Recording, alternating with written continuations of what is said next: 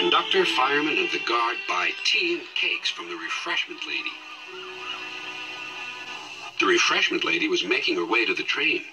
Bake me a fucking loaf of bread. Said Peter Sam. Couple of corn muffins, jelly donut, I don't give a shit. I'm in the market for quality baked.